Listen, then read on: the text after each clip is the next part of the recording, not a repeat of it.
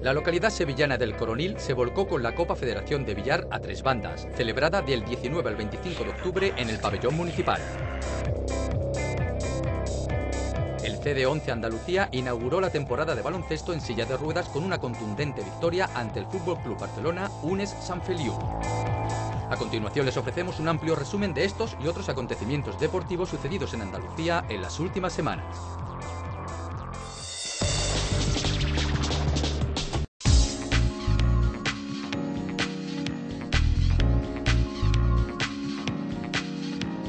El Coronil acogió del 19 al 25 de octubre la vigésima Copa Federación de Billar a tres bandas, Trofeo Vicente Baeza, una competición patrocinada por la Consejería de Turismo, Comercio y Deporte, valedera para el Gran Premio de España.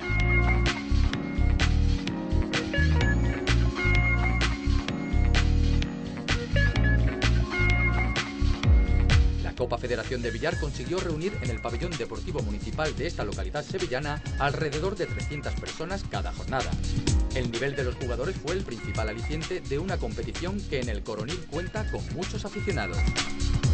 El nivel de los jugadores ahora mismo es el más alto de, toda España. Estamos contando con jugadores que son campeones de España y en algún caso campeón mundial de esta modalidad. Por lo tanto, hoy en el Coronil y esta semana en el Coronil se están acumulando todo lo, el mejor nivel del Villar de Tres Bandas. El catalán afincado en Andalucía, Dani Sánchez, se impuso en una final muy apretada a Rubén Legazpi, consiguiendo un título que no pudo disputar en sus tres últimas ediciones.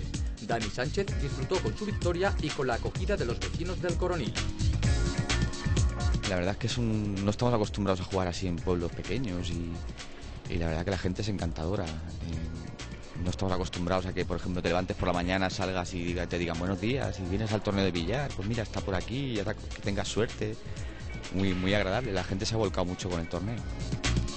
Más de 500 personas se dieron cita en el pabellón el último día del torneo para seguir de cerca la final. El presidente de la Federación Andaluza de Billar, Antonio Barroso, destacó la cálida acogida de los vecinos y el esfuerzo realizado por el ayuntamiento. El campeonato se está desarrollando tal y como lo habíamos previsto. Eh, aquí en este tema no es fácil organizar una prueba de esta, donde hay 119 jugadores de todas las comunidades que han participado. Ha habido una gran respuesta, cosa que hay que agradecer a todos los jugadores que han venido.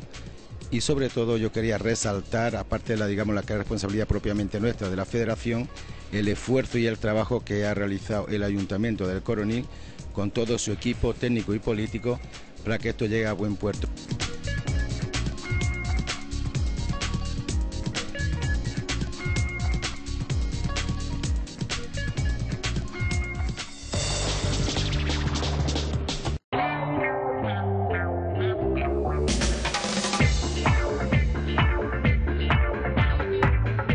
Centro de Tecnificación de Tenis Blas Infante de Sevilla ha logrado integrar tenis y convivencia en unas instalaciones que albergan 16 pistas de tenis, 4 de mini tenis, una de fronto tenis, dos pistas de pádel y una sala de fitness.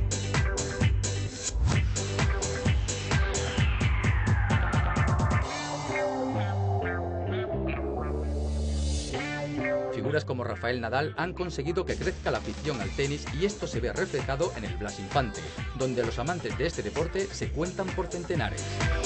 El nivel actual de la base aquí en, Sevilla y sobre todo en toda la parte de Andalucía es bastante aceptable. Es muy importante la figura de, Nadal, la figura que ha aparecido Nadal, y es muy básico y muy importante que se trabaje bien esa base. Y evidentemente, pues cada vez, al ver mucho volumen de niños, la base tiene un nivel bastante aceptable.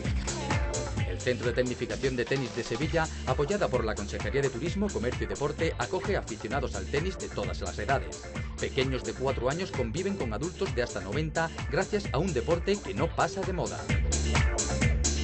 Este centro lo que ofrece a los sevillanos es la, la, el poder eh, dar clases de tenis y, y dar servicio a, a, todos los sevillanos desde 4 años hasta, hasta la vejez, hasta los 80 o los 90.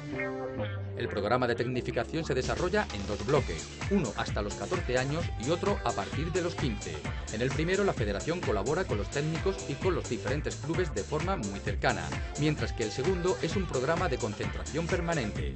En este, los jugadores se concentran en el centro de alto rendimiento de la Cartuja y entrenan en el Blas Infante. De ahí saldrán las promesas del tenis andaluz.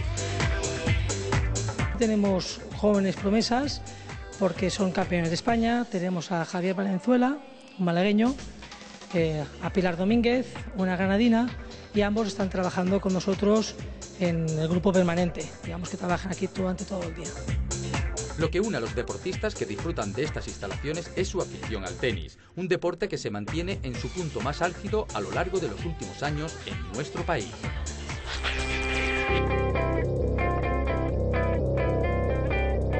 El pasado 24 de octubre, Bornos acogió la tercera edición de la ruta cicloturista Ruta del Guadalete. La prueba organizada por el Club Deportivo Ciudad del Lago recorrió las localidades gaditanas de Bornos, Espera y Arcos de la Frontera.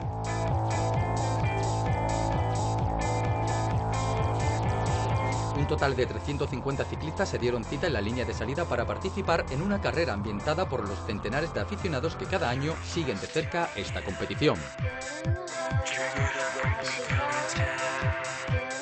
Los espectadores pudieron disfrutar tanto de la prueba como de la belleza de los monumentos y paisajes de los pueblos blancos de la Sierra de Cádiz.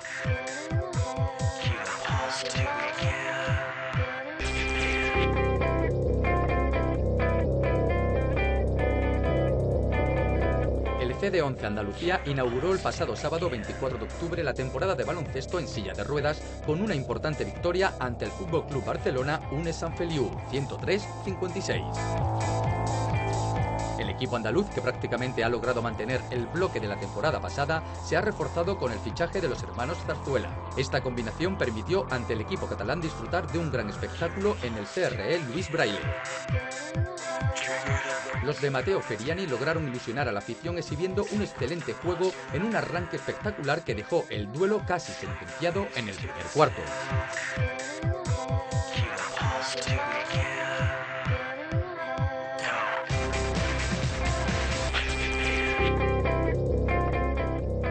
Comienza la temporada de carreras de caballos. Este fin de semana se celebra en el Real Club Pineda de Sevilla. Deporte Andaluz les ofrecerá un completo resumen del programa de carreras de caballos que se celebra en el Club Pineda de Sevilla.